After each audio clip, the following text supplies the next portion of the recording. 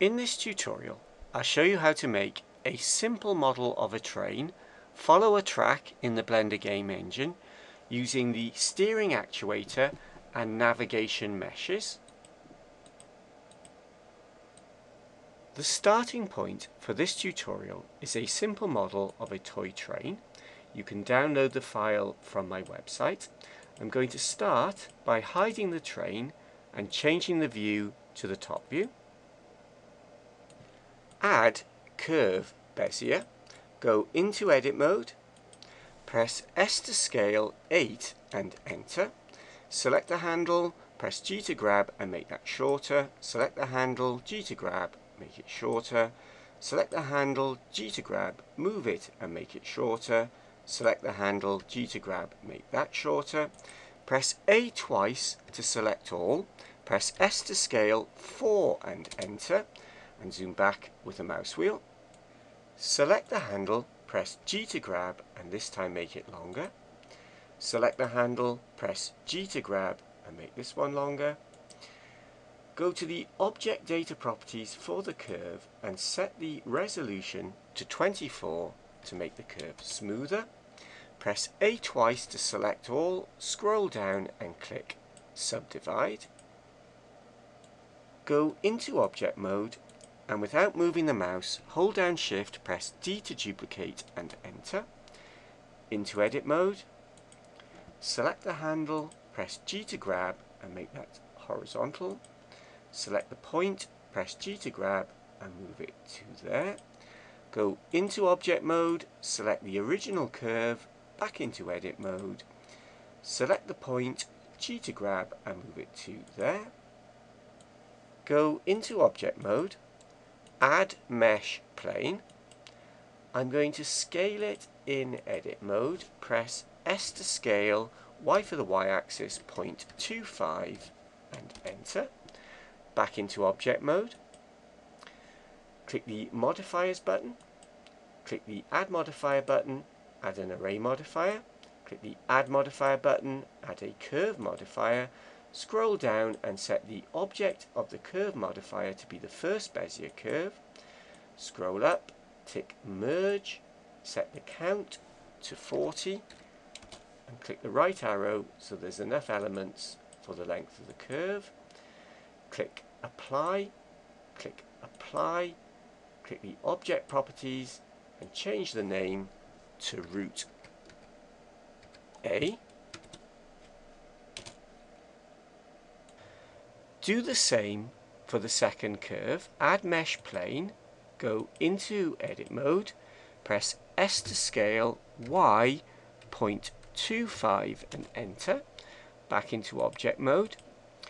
Click the modifiers button, add an array modifier, add a curve modifier, scroll down and set the object of the curve modifier to be the second curve, tick merge, scroll up, set the count to 43, apply the array modifier, apply the curve modifier, click the object properties and set the name to route B.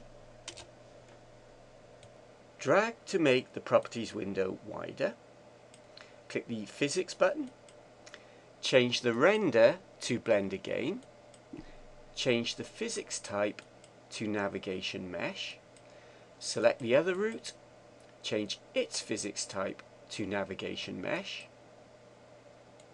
add mesh cube, use the tips of the arrows to move the cube to the end of the navigation mesh, click the object properties button and rename the cube target A, add mesh cube, move the cube to the end of the other navigation mesh and rename it target B. Add mesh cube. Move the cube to the start and rename that one target home Click the eye icon to unhide the train engine and select it.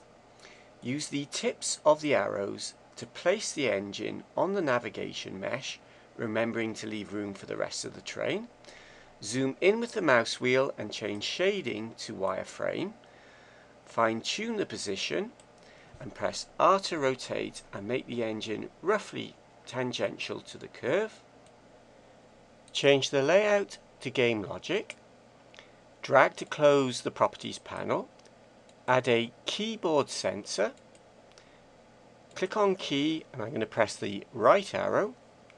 Add an AND controller and a steering actuator and connect those up. Change the behavior of the steering actuator to path following. Set the target to be target A. Set the navigation mesh to be route A. Set the distance to 0. Shift and mouse wheel to scroll down and tick visualize. Start the game engine, press the right arrow and the engine follows the path. I've jumped ahead to where I've given the logic bricks meaningful names. The keyboard sensor I've called right and the steering actuator I've called forward A for going forward along route A. Click the white triangles to close up the logic bricks. Add a, another keyboard sensor, an AND controller and a steering actuator. Click on key and press the left arrow and connect those up. Change the behavior to path following. I want the target object to be target home, so I'm pressing the down arrow to scroll. Set the navigation mesh to route A and set the distance to 13.5. I've jumped ahead again and given the logic bricks meaningful names, back A for going back along route A. Close up the logic bricks. I've added more logic bricks for going forward along route B. Change the behavior to path following. Set the target object to be target B. Set the navigation mesh to be route B. And set the distance to be 0. Jumping ahead, I've set up the logic bricks for going back along route B, set the behavior to path following, set the target object using the down arrow to target home, set the navigation mesh to route B, pan down shift and mouse wheel and set the distance to 13.5. In the outliner window, unhide the guards van and the trucks Select the guards van, hold down shift and select the trucks, and lastly holding down shift select the engine. In the object menu go to game, copy logic bricks. Now all the trucks have the logic bricks. This truck will be directly behind the engine. To stop it running into the back of the engine as they reach the target, I'm going to set the distance to 4.5 now it will stop 4.5 units in front of the target. Shift and mouse wheel to scroll down. On the way back, two trucks will be in front of it. 2 times 4.5 is 9. It'll stop 9 units in front of the target. On the way out along route B, the engine will be in front of it, 4.5. And on the way back, the two trucks will be in front of it, so set the distance to 9. Jumping ahead, I've set the distances for the next truck. It'll have one truck and the engine in front of it, so it needs to stop 9 units in front of the target. On the way back, it'll only have the guards van in front of it, so it needs to stop 4.5 units in front of the target. Going out 9 units, coming back 4.5 units.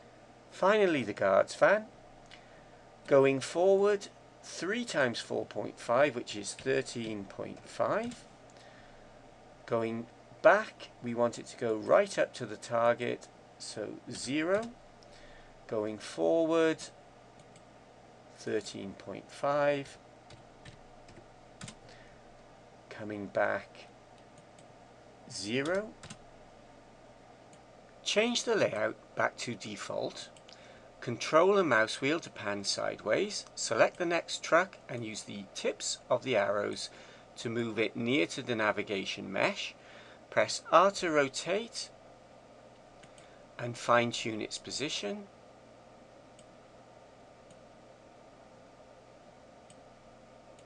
I've jumped ahead, so now all I have to place is the guards van. Put it near to the navigation mesh, press R to rotate, and fine tune its position.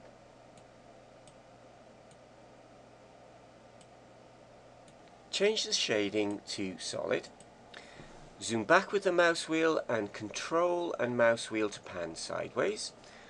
File append Go to the folder where you have your track cross-section. Select the file, track15.blend. You can download the file from my website. Click to go into it. Go into the object folder. Select the track and append. The appended object is not selected. Select the track. Click the modifiers button. Add an array modifier. Tick merge. Add a curve modifier Scroll down and set the object to be the first Bezier curve. Scroll up and set the count to be 75. Click the object properties, set the x location to minus 1.6. Back to modifiers, apply the array modifier, apply the curve modifier. File, append. Select the track again, append. Select the new track, add an array modifier and tick merge, add the curve modifier, scroll down and set the object to be the second Bezier curve, click the object properties and set the x location to 40, click the modifiers button and set the count to 40, apply the array modifier, apply the curve modifier, Select the target cubes, click the physics button and set them to be invisible when the game engine runs. The navigation meshes will automatically be invisible.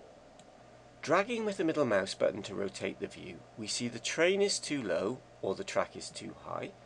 I'm going to set the Z value of the engine to 1.9 and we need to do that for the other trucks. We need to do it for the target cubes, 1.9 and we need to do it for the navigation meshes set the z value to 1.9 I've jumped ahead and raised up the other objects change the layout to game logic select the engine. We have a problem with the engine flipping direction when it goes backwards. To cure the problem set the axis to minus x in the steering actuators where the engine goes backwards Clicking self-terminated will stop the engine flickering when it reaches the target. And we don't need visualize once we've got everything working and that needs to be turned off in the trucks as well. I've jumped ahead and unticked visualize for all the trucks. Change the layout back to default. That's the end of the tutorial. I'll put all the files used and the finished file for you to download at my website www.freemovies.co.uk at the Blender channel there. Thanks for watching and goodbye.